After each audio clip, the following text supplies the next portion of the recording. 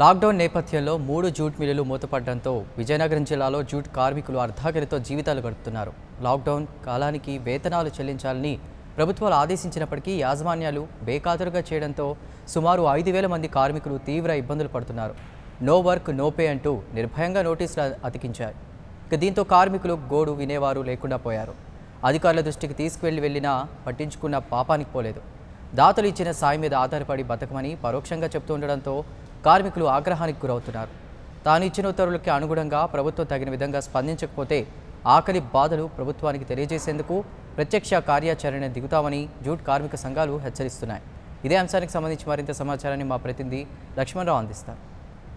Corona virus కలకలం ఇప్పట్లో ప్రపంచాన్ని ఆపేటట్లేదు. ప్రధానంగా లాక్డౌన్ ప్రకటించిన నాటి నుంచి కూడా చిరు వ్యాపారులు కార్మికులు నానా అవస్థలు పడుతూ ఉన్న పరిస్థితి ఇప్పుడు అంతటా కనిపిస్తూ ఉంది. ప్రధానంగా విజయనగరం జిల్లాలో చూసినట్టయితే జూట్ ఇండస్ట్రీయే ప్రధాన జీవనాధారం. ఈ జూట్ ఇండస్ట్రీలో కూడా మూడు మాత్రమే ప్రధానంగా పనిచేస్తూ ఉన్నాయి. అందులో ఒకటి నెల్లిమర్ల రెండు ఏ జూట్ మిల్ మూడు సాలూరు జూట్ మిల్. ఈ మూడు జూట్ మిల్లు కూడా ఈ లాక్డౌన్ కారణంతో పూర్తిగా నిలుపుదల చేయడంతో ఇప్పుడు వర్కర్లందరూ కూడా రోడ్డున పడిన పరిస్థితి కనిపిస్తుంది. అయితే రాష్ట్ర ప్రభుత్వం కేంద్ర ప్రభుత్వాలు అనేక మార్గదర్శకాలు నిర్దేశించింది. లాక్డౌన్ కాలాన్ని కంపల్సరీగా వేతనాలు చెల్లించాలని చెప్పేసి స్పష్టమైన ఉత్తర్వులు కూడా జారీ చేయడం జరిగింది. అయినప్పటికీ కూడా యాజమాన్యాలు నో వర్క్ నో పే అనే పేరు మీద నోటీసులు పెట్టడంతో ఇప్పుడు ఆ కార్మికులు అటు ఆదాయ వనరులు లేక బయట సహాయం కూడా అందకపోవడంతో వాళ్ళు నానా అవస్థలు పడుతూ ఉన్నారు. ఇప్పుడు మన ముందు వర్కర్లు ఉన్నారో వాళ్ళ మాటలోనే మనం విన్నాం ప్రధానంగా ఇప్పుడు మీరు ఎటువంటి కష్టాలు ఎదుర్కొన్నారు ఈ లాక్డౌన్ కారణంగా? లాక్డౌన్ కారణంగా ఎటుపక్క వెళ్ళినా ఏ ఒక్క పని కూడా కల్పి కల్పించడానికి అవకాశాలు లేవు. తర్వాత ఈ యొక్క మిల్లి మీద జీవనాధారం మాకు. ఈ కష్టకాలంలోన ఈ మాకు రావాల్సిన లాక్డౌన్ వేతనాలు చెల్లించి మా కార్మికులు ఆదుకుంటే చాలా బాగుంటుందని ఆశిస్తూ ఈ అలాగే ప్రభుత్వ యంత్రాంగం యాజమాన్యం ఈ రాజకీయ నాయకులు అంతా కలుగు చేసుకుని మా కార్మికులు ఆదుకోవాలని కోరుతాను ఇంటికి పోషణకు సంబంధించి ఏం ఇప్పుడు ఎలా ఎలా పడుతున్నారు ఆ ఇబ్బందుల్ని? ఇప్పుడు లాక్డౌన్ ప్రకటించిన కాడి నుంచి కూడా మా ఇంటికి ఆదాయం రాకపోవడం చేత అప్పులు పో- అప్పులు చేసుకుంటూ మామూలు కాలాన్ని వెలబుచ్చుతున్నాం. అలాగే పిల్లలకి కూడా ఒక పూట తింటే ఒక పూట లేదు. అలాగే ఒక నెలమాల కార్మికులే కాకుండాను దీని మీద ఆధారపడినటువంటి చాలామంది వర్తకులు కూడా వాళ్ళ వ్యాపారాలు కూడా మూసివేయడం జరిగింది. మీకు వచ్చే వేతనం ఎంత? ఇప్పుడు ఈ దీని కారణంగా మీకు ఏ మేరకు వేతనం ఇబ్బంది పడుతున్న పరిస్థితి? మాకైతే ఇప్పుడు కరోనా వచ్చిన కాడి నుంచి బ్యాక్డౌన్ అయిన కాడి నుంచి మాకైతే చాలా ఇబ్బందులు పడతాను. అప్పులకి వెళ్ళా అప్పు ఇవ్వలేని పరిస్థితులు కూడా ఉన్నారు. అయితే ఆ కేంద్ర రాష్ట్ర గవర్నమెంట్లు ఏ జీవోలు వచ్చే ఇచ్చారో ఆ జీవోల ప్రకారంగా ఆ బ్యాక్డౌన్ కాలంలో జీతాలు ఇవ్వమని మేము కోరుతాను. ఆ జీతాలు లేవు ఏటీ లేవు మేము ఇవ్వలేము. వచ్చి ఎట్టి శాఖలు పని చేయండి అని నెల్లిమర్ల మేనేజ్మెంట్ అంటుంది.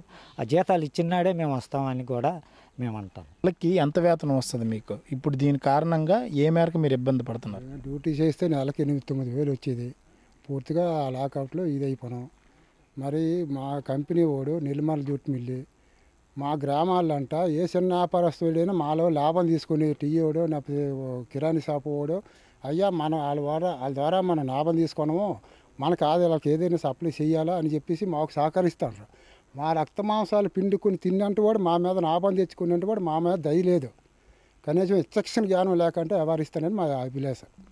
ఇప్పుడు ప్రధానంగా రిటైర్ వర్కర్లు కానీ కొంతమంది జ పనిచేసిన వాళ్ళు ఇప్పుడు ప్రభు అటు యాజమాన్యం నుంచి ఏ మేరకు సహకారం అందిస్తుందో అలాగే ప్రభుత్వం నుంచి ఏమైనా సహకారం అందుతుందా? ఎటువంటి సహకారం కూడా లేదు స్వామి. ఈ చుట్టుపక్కల గ్రామాలందరూ కూడా ఈ మిల్లు మీద ఆధారపడిన వాళ్ళే. నెలంతా కష్టపడితేనే ఈ మిల్లులోని వచ్చి ఎనిమిది వేల ఐదు వందల రోజులు రావడం కష్టం. నెలంతా స్పిన్నింగ్ నుంచి కానీ బ్యాచింగ్ నుంచి కానీ ఇరవై రోజులు చేసిన రోజులు దాఖలాలు ఉండవండి. ఈ ఏడు వేలు తెచ్చుకున్నప్పుడే నానా ఇబ్బందులు పడుతున్నారు. ఇప్పుడు ఈ రెండు మాసాలు బట్టి కార్మికులు పడుతున్న బాధలో వర్ణాతీతం సార్. వస్తువులు పెట్టుకుంటున్నారు తిండికి లేకుండా ఎవరో ఈ ఊర్లో ఇచ్చిన కాయగూరలతో వాటితోనే మేనేజ్ అవుతున్నారు. ఇక్కడ ఎక్కువ కార్మికులందరూ కూడా ఈ మిల్లు జూట్ మిల్ మీద ఆధారపడి ఉన్నది. చేస్తేనే ఇవ్వండి గవర్నమెంట్ ఇచ్చిన జీవోలను కూడా వీళ్ళు అమలు చేయకుండా ఎలక్షన్ కూలి ఎవరు? ఎలక్షన్ గవర్నమెంట్ అమలు చేస్తుంటుంది ఎలక్షన్ కూలి ఇవ్వమని ఆ ఎలక్షన్ కూలి ఎవరు? పండగ ముందు ఏదో ఒకటి పెడతారు పండగ కూలీలు ఎవరు? అన్నీ ఎగ్గొట్టేయడమే. గవర్నమెంట్ ఇచ్చిన ఉత్తర్వులు ఏంటి? ఇక్కడ ఇక్కడ అమలు ఏ మేరకు వచ్చి జరుగుతుంది? ప్రభుత్వం ఏ పరంగా అయితే ఆదేశిస్తే ఆ పరంగా మేము ఫాలో అవుతామని చెప్పడం జరిగింది. కానీ ఆచరణ వచ్చేటప్పటికి మార్చి నెల జీతంలోనూ చేసిన పనికే వేతనం ఇవ్వడం జరిగింది తప్ప ఉన్ని రోజులకి వేతనం ఇవ్వలేదు. ఆ వేతనం ఇవ్వనప్పటికైనా వేతనం పుల్లు వేతనం ఇవ్వాలా? ప్రధానంగా గవర్నమెంట్ లాక్డౌన్ నుంచి జూట్ ఇండస్ట్రీకి మినహాయింపులు ఇచ్చింది. ప్రభుత్వం కూడా తెరుచుకోమని అవకాశం కల్పించారు. జూటి యాజమాన్యాలు కూడా ముందుకు వస్తున్నాయి. ఇప్పుడు మీరు ఎందుకు దాన్ని ఆటంకపరుస్తున్నారు ఏ కారణాలు రీచ్? అంటే ప్రభుత్వం ఇచ్చిన ఉత్తర్వులు ఏ మేరకు అమలు అవుతున్నాయి? మీరు జిల్లా అధికారుల దృష్టికి వెళ్ళినప్పుడు వాళ్ళు ఎలా రెస్పాండ్ అయ్యారు? లా కోవిడ్ పంతొమ్మిది కారణంగా ఏప్రిల్ ఇరవయో తారీఖు నుంచి జూట్ మిల్లుకి మినహాయింపు ఇచ్చారు. ఈ మినహాయింపులు ఇచ్చి ఇస్తూ కూడాను కొన్ని మార్గదర్శకాలను చేపట్టాయి. ట్రాన్స్ఫర్ సౌకర్యాన్ని ఏర్పాటు చేయాలని అలాగే భోజనం ఏర్పాటు చేయాలని మిల్లులో మనిషికి మనిషికి ఆరు అడుగులు దూరం ఉండాలని కంటిన్యూగా శానిటైజన్ చేయాలని మిల్లు పరిసర ప్రాంతాలన్నింటి కూడాను బ్లీచింగ్తో శుభ్రంగా చేయాలని కూడా అనేక మార్గదర్శకాలు ఇచ్చాయి. యాజమాన్యం వీటిని దేనికి కూడా వీటిని కూడా అమలు చేయడం లేదు.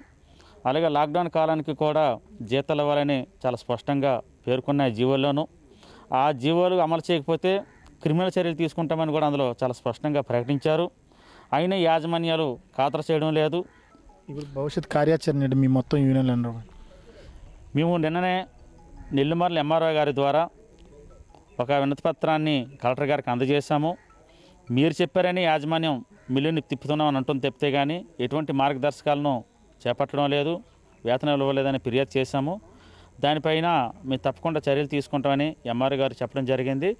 రేపు రెండు రోజులు చూస్తాము. లేని వేళ కార్యాచరణ ప్రకటిస్తాం. ఇది ప్రధానంగా చూసినట్టయితే కార్మికులందరూ కూడా వాళ్ళ మనోభిప్రాయాన్ని అలాగే యూనియన్లు కూడా తమ తాలూకా డిమాండ్ని మనం ముందుంచడం జరిగింది. ప్రధానంగా లాక్డౌన్ కాలానికి ప్రభుత్వం ఇచ్చిన ఉత్తర్వులకు అనుగుణంగా యాజమాన్యాలు వ్యవహరించాలని చెప్పేసి వాళ్ళందరూ కోరుకుంటూ ఉన్నారు. అదే సమయంలోనే రా ఏదైతే కేంద్ర ప్రభుత్వం ఇచ్చిన మార్గదర్శకాలకు అనుగుణంగా ఆయా జాగ్రత్తలు వహిస్తూ జూట్ మిల్లులు తెరిపించాలని చెప్పేసి వాళ్ళందరూ డిమాండ్ చేస్తూ ఉన్నారు. ఈ విధ ఈ దిశగా అధికార యంత్రాంగంతో పాటు రాష్ట్ర ప్రభుత్వం కూడా చర్యలు తీసుకోవాలని చొరవ చూపాలని చెప్పేసి వారందరూ కోరుకుంటున్నారు. వీడియో జర్నలిస్ట్ ప్రకాష్తో లక్ష్మణ్ నైన్టీ నైన్ కోసం విజయనగరం నుంచి.